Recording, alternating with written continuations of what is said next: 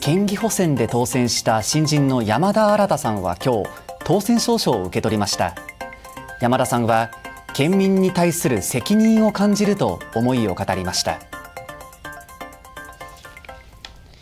議員辞職に伴いおととい投開票が行われた県議会議員の静岡市清水区選挙区の補欠選挙で初当選した山田新さんは今日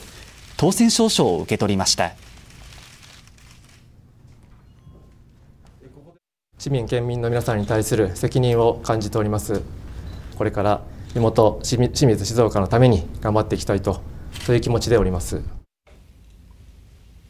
山田さんは公認会計士や税理士の経験を生かし県の財政の健全化に努めたいとしています。